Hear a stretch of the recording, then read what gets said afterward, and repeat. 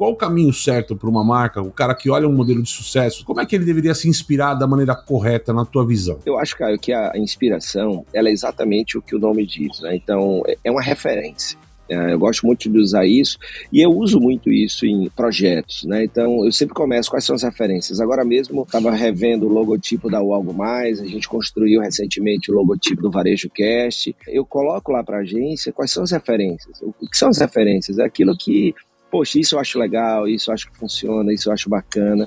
Você parte de uma referência. Só que essa referência tem que ser apenas isso, uma referência, ou seja, uma inspiração. E a partir daí, eu acho que tem que ter um encontro do aquilo que você admira no mundo lá fora com aquilo que é a sua essência, com aquilo que é o que você faz. Se isso tá claro ali, você vai ver, percebe que não é uma cópia. Poxa, existe uma inspiração aqui, mas o que salta aos olhos, o que transborda em maior quantidade, que chama aos olhos é a essência do negócio e não a inspiração, percebe?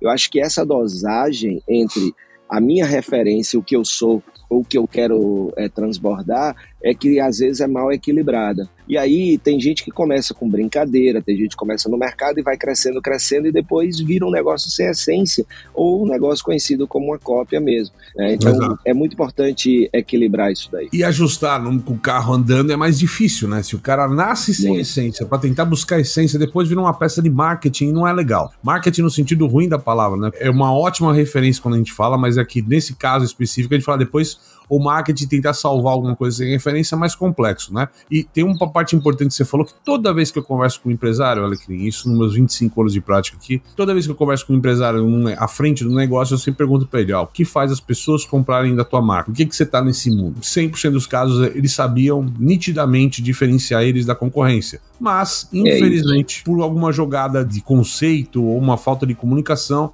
às vezes os valores não chegam ao consumidor. E aí eu, realmente o, todo o esforço, o empenho parece como cópia. Exatamente como você colocou do Pobres, né? Que para quem olhar numa fachada fala, nossa, imitaram o Bobs, né? E na verdade nada disso, ó, tem uma história por trás de quem criou e por que criou. Tava buscando uma referência tal, e uma brincadeira, ou às vezes até de uma falta de maturidade de copiar, né? Porque copiar às vezes pode ser uma falta de maturidade, né? Ah, não sei se, se eu posso ou não posso fazer isso, legalmente eu devo fazer isso ou não, tal. Tem uma série de questões que às vezes a falta de maturidade no mercado predispõe a pessoa a cometer um, erro inicial de processo, né, nessa história, porque depois você bota o nome na tua marca, você mudar no meio do caminho, você perde toda a referência. Não adianta também. É difícil mudar. Você assistiu Varejo Cast.